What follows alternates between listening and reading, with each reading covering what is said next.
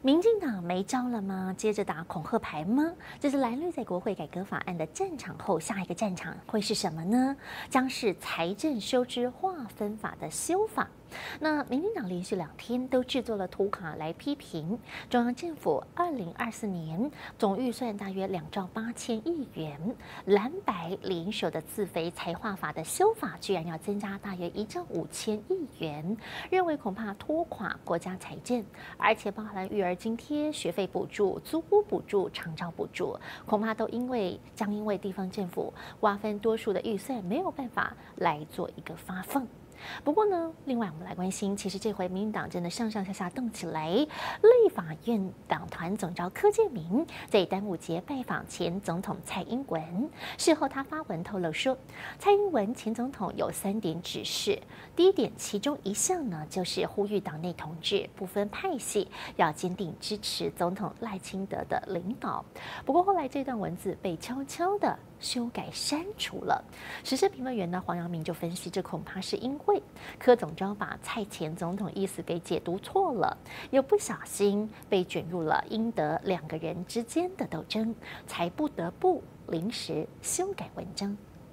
我没有看过老柯的发文有这样修改过的，对，而且他修改的居然是蔡英文的转述哦。对，那只有一个人可以要求老柯修，就是蔡英文。而且他后面还有那个欲盖弥彰，就重新再发的时候，那个里面解释了很多。我还有另外一个叫赖清德，但是因为因为如果今天哦，如果今天他修了，蔡英文知道，可是蔡英文没有叫他修，嗯，哇，那也是哇，呆鸡大雕啊，那也是难看哦。可是你要知道，你去比对看那个修改前哦，嗯，修改前是老科，我讲那个才叫老科人设，呼吁大家我们全力支持党中央，嗯，全力支持赖清德，全党配合卓龙泰院长。这个就是这个才是柯建明的人设，对，他是不分派系，他就是所谓的保皇党，对，他是永远的这个总统的好朋友。可是这个这就这段，我认为啦，其实我的研判是，呃，赖清德不喜欢蔡英文讲这一段啦，他可能有去问说，蔡英文真的这样讲吗？然后也许老柯现在有点心虚，那嗯。我觉得，我觉得老柯有点夸大蔡英文的说辞啊。这，我认为这三句，我认为这三段是柯建明自己解读蔡英文的意思。对，所以实际上蔡英文应该不是用这这三句话。现在的音系里面有很多人对赖清德还是很有意见的。哦，你其实你可以从最近台北市党部的人士，你就看得出来一些端倪了。对，英系的人全部全部回魂了。从这个角度来看的话，就是老柯。也卷入了所谓的英德的后续效应里面，才逼得他不得不休嘛。国会改革法案在立法院昨天收到总统府核可，行政院复议案，依法必须在十五天之内啊，十五号之内呢来议决，否则语言决议失效。不过呢，来看是前立委郭正亮分析，蓝白不可能让民进党变更议程，这件事情应该就是过场过个场而已。而他也点出一个关键日期，就是明年的二月一号，民进党会启动罢免，锁定目标就是蓝营立委叶。原之，如果呢这回成功的话，蓝绿立委席次将翻转，变成绿营五十二席多于蓝营的五十一席。我认为这个表决一定是公告的啦，不可能偷偷啦。嗯，因为你要变更议程，你要多数啊。嗯，那蓝白不可能让民进党变更议程的啦。哦，所以我认为这件事情应该就是过场而已啦，不会过了。就复议被否决嘛，就这样啊。